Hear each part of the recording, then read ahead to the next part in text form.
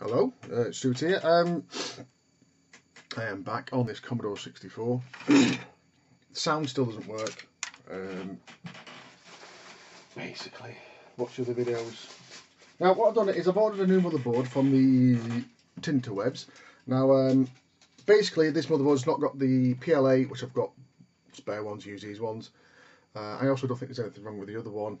It's not got the SID chip, it's not got the VIC-2 chip, um, which is cat. Hold on. Okay. Hello.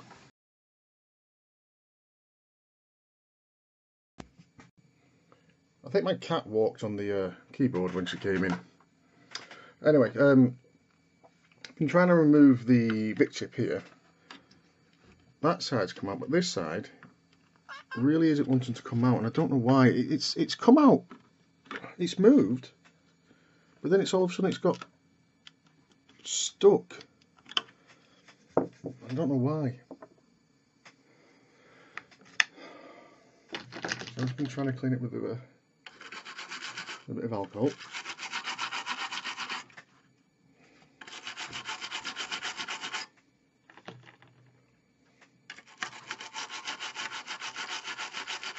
Don't you dare step on that key.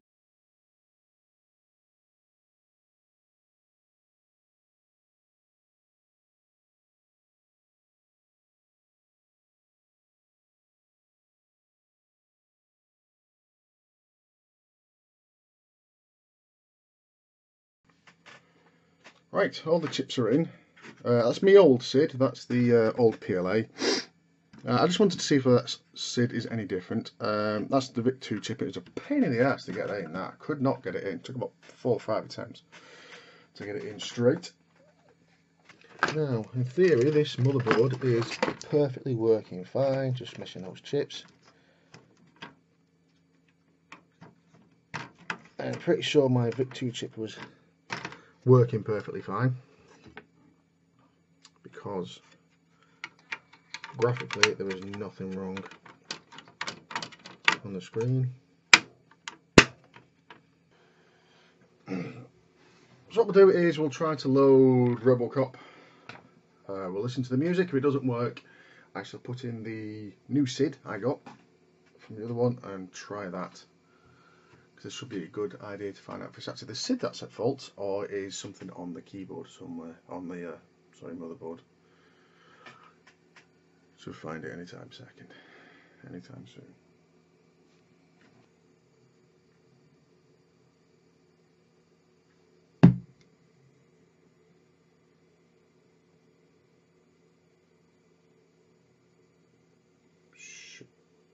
Nothing. So absolutely nothing coming out of that sound chip. Remember, if you turn it right up, you can actually hear it.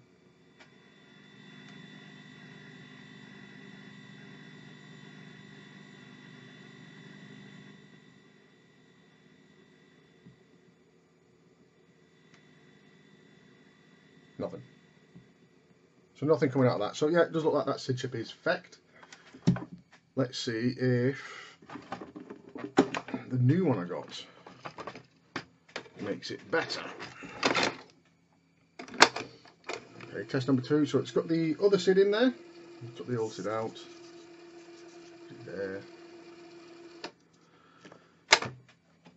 Let's see what happens this time. So this will be a night. Well, if it doesn't work, if I get the exact same thing, it's got to be the SID that's faulty. Because the uh, SID's done exactly the same thing in two different motherboards. Waiting for the pop of the SID to happen.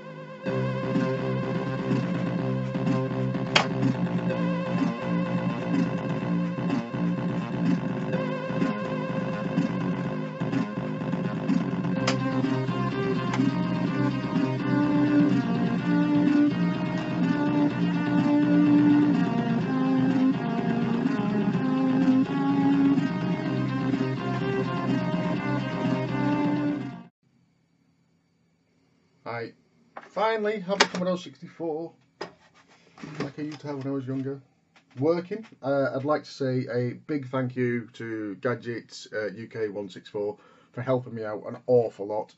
And also to Smooth MJ, he offered me a lot of advice uh, and even offered to uh, test out the SID, which we now know is working.